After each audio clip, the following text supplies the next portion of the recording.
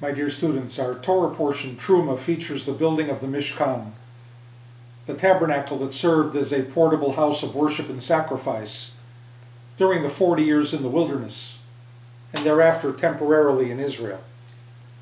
Those who engaged in its construction were to be wise and pure of heart. The story is told of Sir Christopher Wren, noted architect of London's famed St. Paul's Cathedral. While directing its construction, he walked among his workers incognito.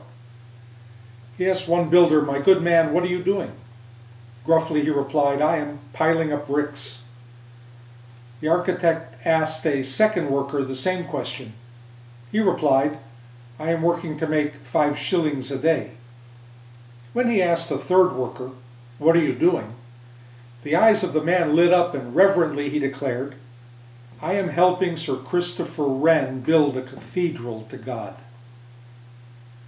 These three workmen reveal a deep truth. The first epitomize those who view life as a dull, uneventful, boring routine. They go through life doing little but piling up bricks. The second exemplified those interested only in the pursuit of money. But the third worker illustrated the power of enthusiasm when imbued with a cause, the excitement generated by a heart willing to sacrifice for a noble good, the idealism aroused by dedication to building something that would serve God by serving man, the vision to create something that would outlive his own span of years and contribute to the future well being of others. The tabernacle could have been seen simply as a place of wooden curtains, of walls and supports created by piling up bricks. Its builders could have seen it as a way to earn a reward for services rendered, akin to making five shillings a day.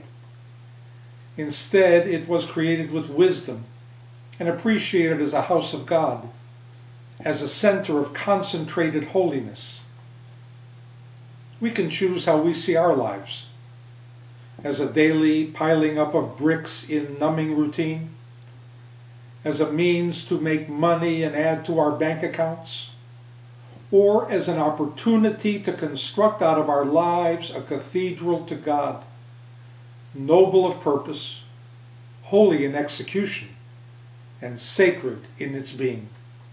Shabbat Shalom.